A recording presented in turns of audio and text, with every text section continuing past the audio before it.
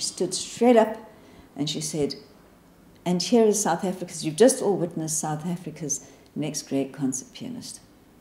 And I was there like, Who? Who is that? And my music teacher, piano teacher, was leaping around, so excited.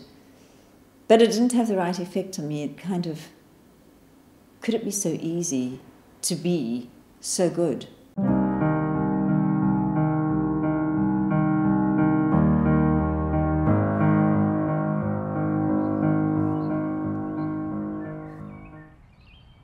Came from a very musical back background and family. And my mother sang and my father played wind instruments. And so at school, there I was, going along that path of playing also wind instruments, playing the piano. And of course, I, I guess I was quite good. And it dawned on me somewhere along all this process of playing for so many hours in a room, even accompanying other people, that while it brought people joy for just the hour of the concert or hour and a half of the concert, the joy was short lived.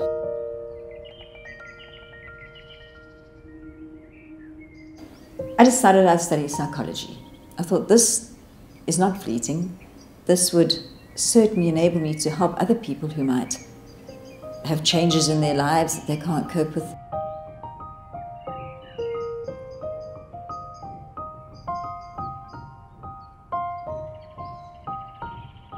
Meanwhile, while I was doing all this studying, I, I was a DJ from 1982. I didn't have much money at the university.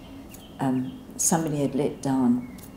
We were having a party at our race and the DJ didn't pitch, so I just came with my music collection. We had um, vinyl in those days, and I was a turntablist. And I got quite a lot of parties, and I, I rose up to be quite the DJ actually. I DJed alongside several famous bands at the time and personalities.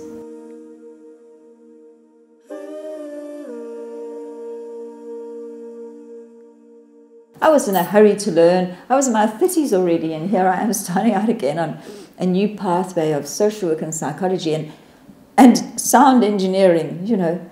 But to me, these fit together.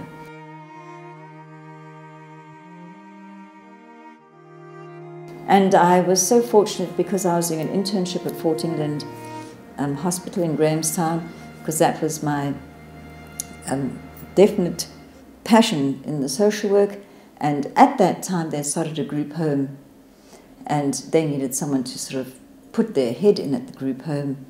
And so, as part of my community work of the internship, I started at that group home, which is a group home for people who need guidance with medication or everyday tasks, um, and also therefore can't just live in the community.